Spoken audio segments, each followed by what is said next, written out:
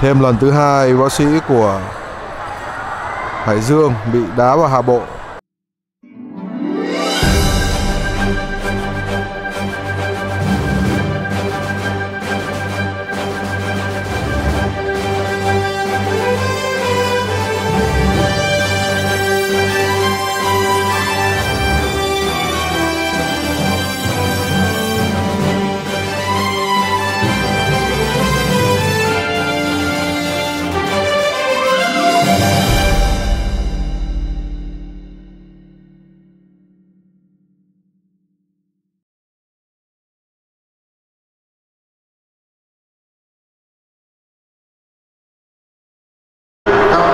Con Thắng trận đấu năm Vũ Huy Hoàng gặp Nguyễn Đức Trà.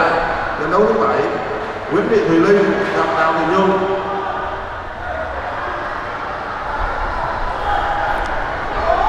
Xin chào mọi người, mình đang ở nhà thi đấu Thanh Trì của thủ đô Hà Nội và ở đây đang diễn ra giải vô địch cúp tài năng trẻ Việt Nam.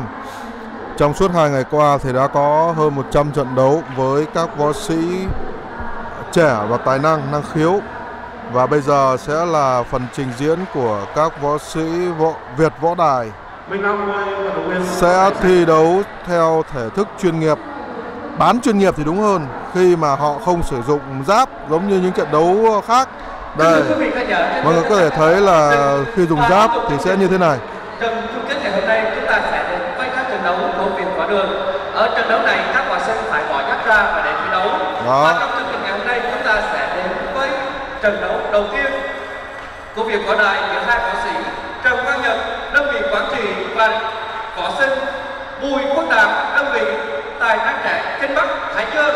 Một lần nữa xin được trân trọng kính mời quý vị khán giả, tất cả các võ sinh hãy một tràng pháo tay thật lớn để cổ vũ cho hai võ sinh của chúng ta.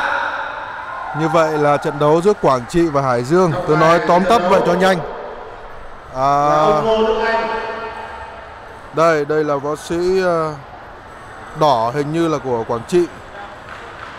Đăng Sơn. Mời vận động viên Trần Văn Nhật đơn vị Quảng Trị. Đúng rồi, đỏ, Quảng Trị. đây là chúng ta sẽ được theo dõi các trận đấu theo đánh theo luật Việt Võ Đài. Và chúng ta không mang bảo hộ không mang bảo hộ đầu. Và chúng ta có mang bảo hộ cùi trỏ đây ông anh mình đang là cái người cầm mic đây ông này thì là tổ chức các trận đấu và mai mốt sẽ kết hợp với kênh sao thể thao để tổ chức các trận đấu. Như vậy là Quảng Trị sẽ gặp mà Bất Kinh Bắc.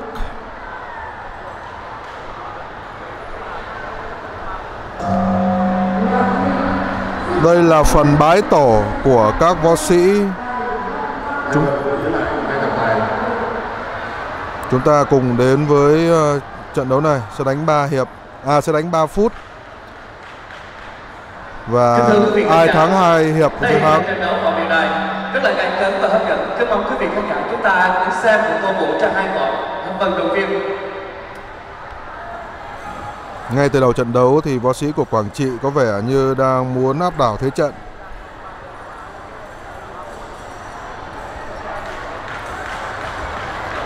Xíu nữa sẽ là sự xuất hiện của Nguyễn Xuân Phương, huy chương vàng ờ, SEA Games 2019. Huy chương ờ, bạc SEA Games 2022. Và huy chương đồng châu Á nếu như mình nhớ không nhầm. Trận đấu tiếp tục tiếp tục hai vận động viên cũng có rất đông các khán giả đang tập trung quan sát à, cặp đấu này.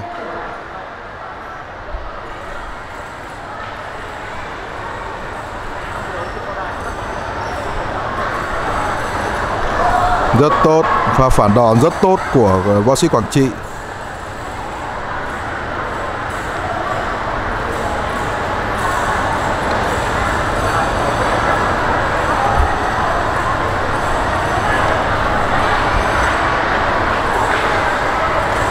Rất tốt.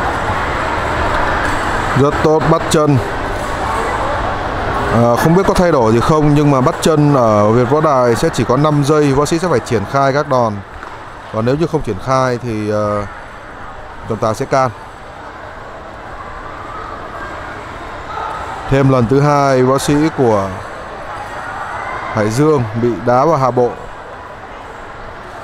Mình cũng không rõ nữa tí tí xem quay chậm lại không trọng tài không coi là đó là một đòn đánh hạ bộ mà đã chuyển sang đếm.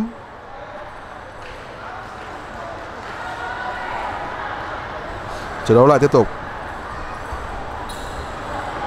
Có đôi chút nhắc nhở đá cao chân lên với võ sĩ của Quảng Trị. Mặc dù gọi là bán chuyên thôi nhưng mà mọi người có thể thấy là găng thi đấu ở, ở Ờ, các trận đấu Việt Võ Đài vẫn sử dụng găng lớn. Như vậy mình nghĩ gọi là bán chuyên thôi, chứ không thể gọi là chuyên nghiệp được. Và vẫn à, các võ sĩ vẫn bọc bảo hộ ở khử tay. Các võ sĩ vẫn được đánh trỏ, nhưng mà sẽ bảo hộ ở khử tay để giảm sát thương. Chính vì vậy là sẽ không có à, tránh sát thương ờ, nhiều nhất có thể đối với đối thủ.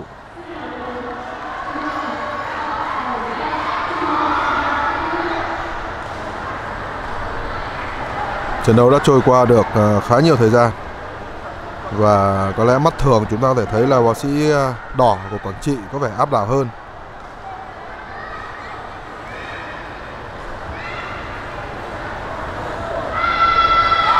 Hôm vừa rồi cặp đấu này đáng nhẽ ra mình sẽ cử một võ sĩ từ thành phố Hồ Chí Minh sang, ra ngoài Hà Nội thi đấu. Tuy nhiên đáng tiếc là kế hoạch đó không thành công. Và mọi người biết mình cử ai không? Đó là Nguyễn Đình Minh Khuê một trong những võ sĩ rất tài năng mà mình rất là thích. Cũng đã muốn ngỏ ý gửi tới ban tổ chức tuy nhiên là cái nguyện vọng đó không thành. Ô oh, suýt nó vào mặt. Nguyện vọng đó đã không thành.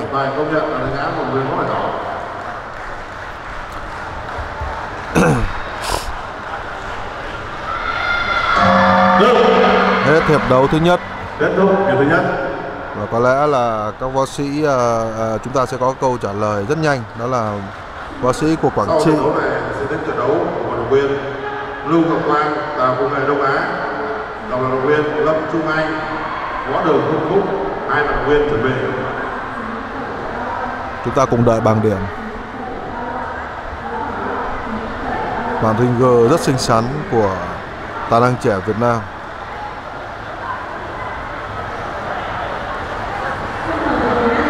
Giám định công bố kết quả. Chắc chắn rồi. Một đỏ thắng.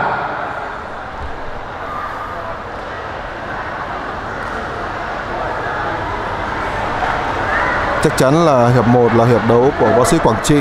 Sân song quyền ra ngoài hiệp thi đấu thứ hai.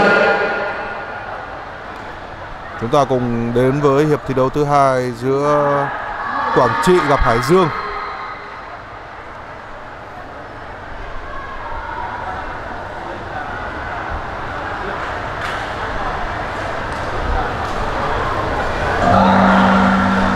hiệp 2 bắt đầu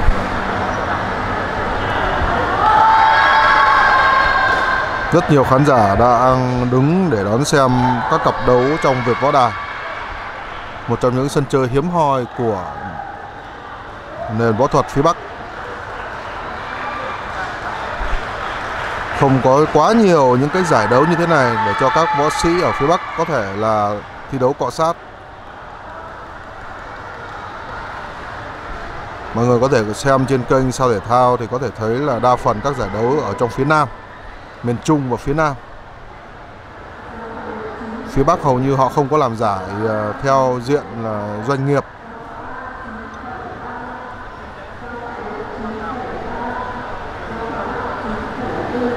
Chúng ta cùng tiếp tục quay trở lại với ờ, trận đấu này. Ờ, theo luật của Việt Võ Đài à, thì nếu như mà hiệp 2 này mà võ sĩ của Hải Dương tiếp tục để thua thì võ sĩ này sẽ là thua chung cuộc. 0-2 một pha phá trụ tốt của võ sĩ Quảng Trị. Trọng tài công bố và đánh giá cho vận động viên có phải đỏ không đây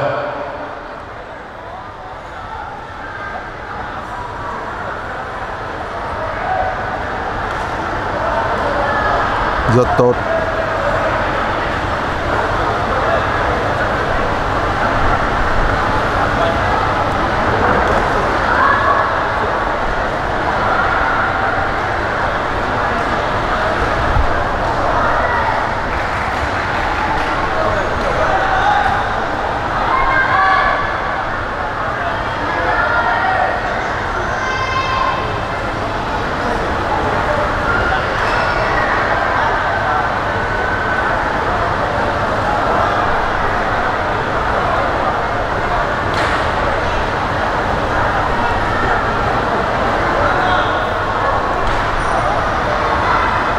Trận đấu đang trôi dần ở những phút cuối của hiệp 2, những giây cuối cùng. Và có vẻ như võ sĩ của Hải Dương cũng đang rất là bí bài, anh không có triển khai được nhiều các đòn đánh. Thậm chí anh còn không biết là tấn công vào đâu.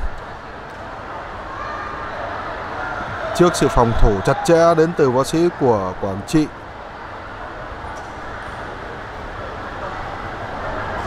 rất hấp dẫn xin quý vị khán giả hãy cho một tràng tay cho cổ vũ các hai vận động viên của chúng ta.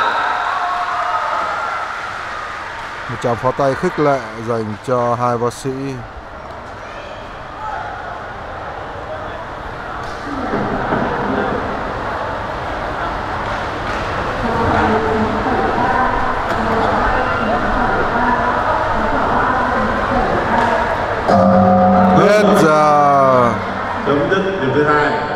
Và nếu như hiệp đấu này uh, Quảng Trị chiến thắng thì có nghĩa là anh ta sẽ giành chiến thắng chung cuộc. Phần thưởng hình như nhớ không nhầm sẽ là 4 triệu và 2 triệu. 4 triệu cho người thắng và 2 triệu cho người thua. Không bố nào. Chính xác. Hiệp 2 góc này đỏ. Chúng ta tổng cộng vận động vận viên góc này đỏ chúng ta đã giành chiến thắng. Hai vận động viên lại giật trọng tài như vậy là trận đấu đã kết thúc với phần thắng chung cuộc thuộc về võ sĩ của Quảng Trị. Xin chúc mừng em. Ở kết thúc lúc này đỏ giành chiến thắng. Kính thưa quý vị, có thể là quý vị khán giả đang chăm chú lắng xem quá cho nên không cổ vũ cho hai vận động viên phải không ạ? Xin được chúc mừng hai võ sĩ chúng ta đã